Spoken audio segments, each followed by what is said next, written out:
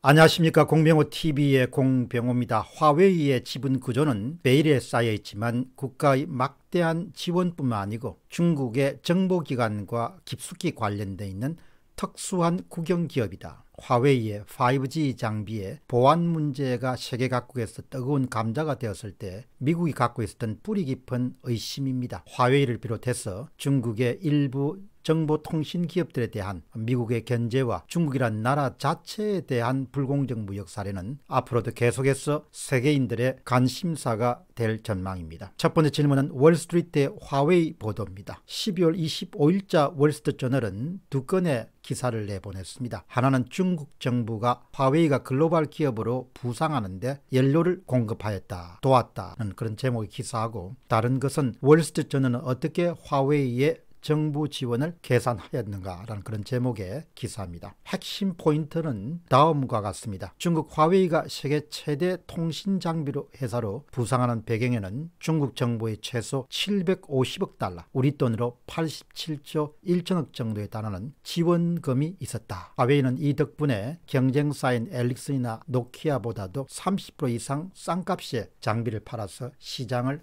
석권할 수 있습니다. 이 같은 분석은 월스트저널이 정부 보조금, 세금 관련된 조사, 그리고 토지 수류, 그리고 금융회사의 신용 제공 등을 가지고 자체적으로 조사한 내용입니다. 두 번째는 금융 지원입니다. 61% 정도 차지합니다. 지원 액수 가운데 약 460억 달러를 차지하고 금융 지원이 가장 큰 규모입니다. 1988년부터 20년간 중국 수출입은행 등으로부터 300억 달러 규모의 신용 한도를 제공받았습니다. 또 수출 금융과 대출 등으로 150억 달러 가량을 쓸 수 있었습니다. 두 번째는 기술 개발 인센티브입니다. 총 지원 자금 규모의 33%를 차지합니다. 기술 개발 인센티브 정책을 통해서 2008년부터 2018년까지 약 250억 달러의 세금 감면 혜택을 받았고 특히 2014년부터 2018년 사이에는 16억 달러의 보조금을 받았습니다. 화웨이가 밝힌 2014년부터 2018년간 5년간 받은 보조금 액수가 16억 달러입니다. 이 액수는 통신 장비업계 2위인 노키아가 핀란드 정부로부터 받은 보조금의 17배에 해당합니다. 세 번째는 중국 정부의 해외 진출 지원입니다. 2009년도에 파키스탄이 수도 이슬라마바드에 감시 시스템을 설치할 때 중부 정부는 화웨이에 파격적인 금융 지원을 제공합니다. 20년간 연리 3% 금리로 1247억 달러의 차관을 중국 정부가 파키스탄 정부에게 제공합니다.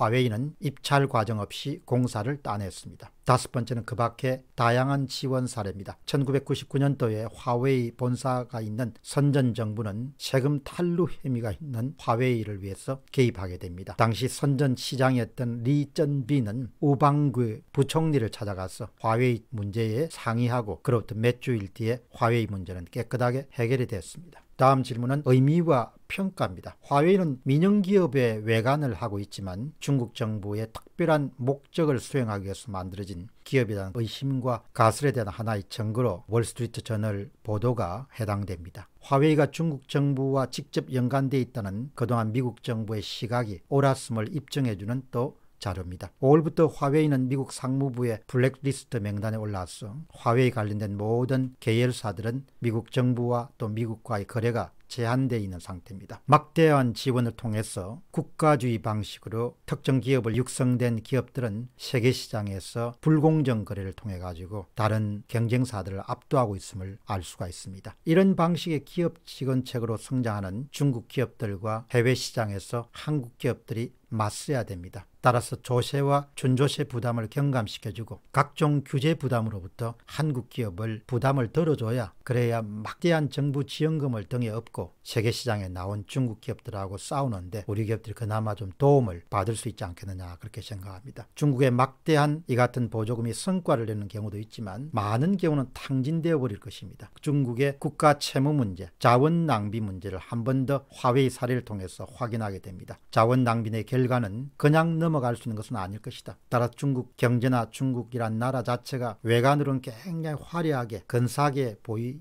지만 또 그것이 오래 갈 것처럼 보이지만 그렇게 오래 갈 것처럼 보이기 때문에 우리나라의 정치인들 가운데 일부는 우리가 친중 노선을 선택해야 된다 이렇게 우기입니다. 그러나 바깥으로 보이는 것이 아니고 중국의 안에 있는 그 안에 본질과 핵심을 바라보게 되면 그 체제가 절대 오래 갈 수 없다는 겁니다. 모든 종류의 국가주의란 것은 일시적으로 뜰 수 있겠지만 결국은 자원의 비효율적 배분 자원의 낭비를 통해 가지고 어려움을 겪을 수밖에 없다. 그런 생각을 화웨이 사례를 보면서 제가 갖게 됩니다.